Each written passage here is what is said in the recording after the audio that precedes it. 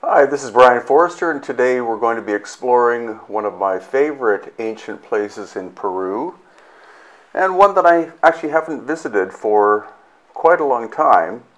But on this occasion, an American film crew came down doing a documentary about megalithic sites in Peru, and so, of course, as the guide, I had to include this location um, so that they could film it they asked where it is exactly we are, what we're going to see, and I said, no, you have to experience it because it's one of the most special and most enigmatic places in all of the highlands of Peru.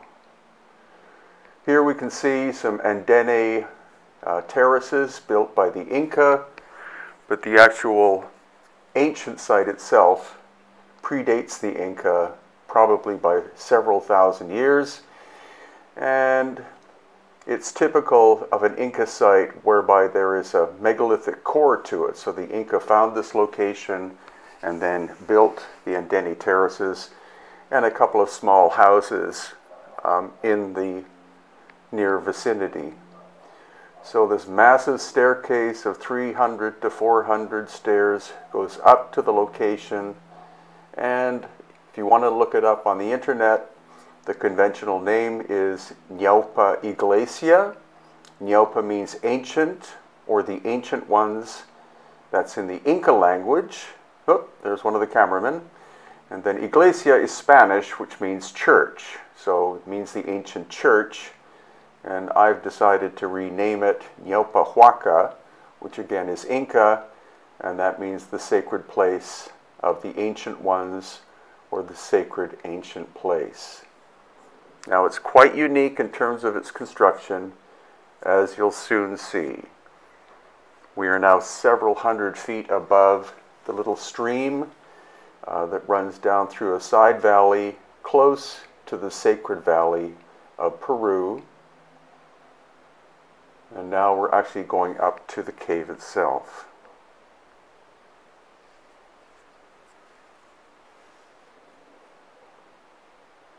So already you can see an interesting ancient thing on the left-hand side.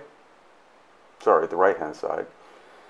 On the left-hand side, these are Inca constructions. And as you can also see, it's a natural cave.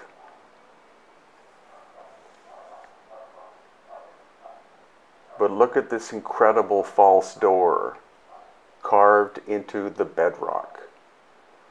And this three level depression in a large uh, piece of stone. And again, there is the Inca element.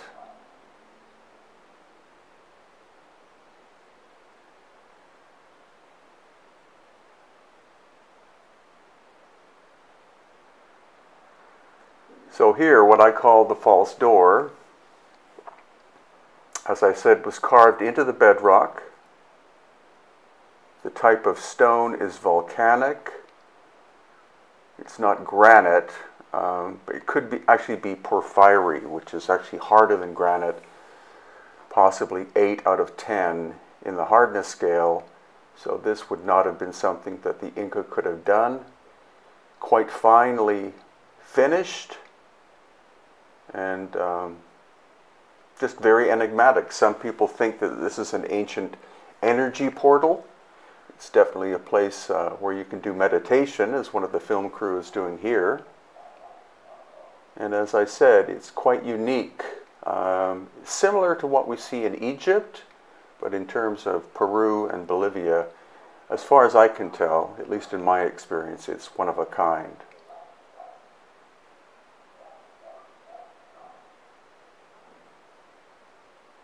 The acoustic properties of the false door are really quite interesting. And then this other component here was likely used by the High Inca for meditation and other purposes. But this is the actual Inca construction. And the only other place where we find these exact shapes of depressions or windows is at Tiwanaku in Bolivia and Pumapunku. So that was our short but uh, interesting visit to this very special place. And now to show you how treacherous it is to get there, there's the actually, actually the supply train that is coming back from Machu Picchu going to Cusco.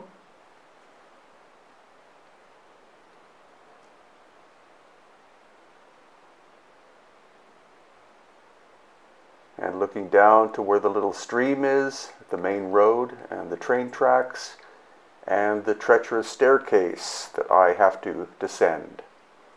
This is the actually the small section of stairs.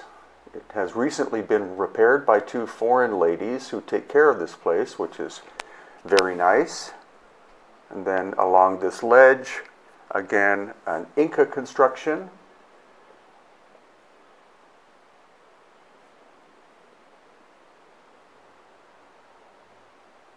And now the long staircase.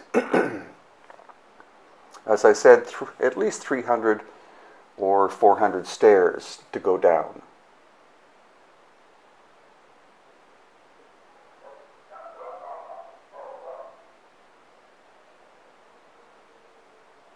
And that's looking back up with one of the documentary cameramen coming down.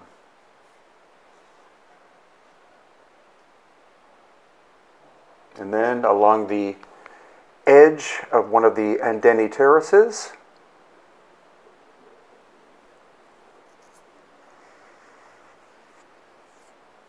And if you look very carefully, the white object in the middle is our the van we, that we rented.